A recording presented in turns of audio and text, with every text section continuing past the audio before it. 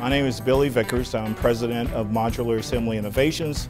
I think my favorite thing about working with GBQ, they were there in the beginning. When I did my management buyout in 2010, this is the first place that I came. I, I called GBQ, I came down and spoke with them and I said, okay, how do I, how do I buy three companies? And I've learned a lot from them. I've learned a lot on the business side. So they've been able to help me grow as an individual. They've came in and actually done some training with our management team, our executive team. They really get involved. They really understand your business. They really try to understand the problems you're having. If you're having their problems, they get involved with it. They sit at the table with you. They're there to help.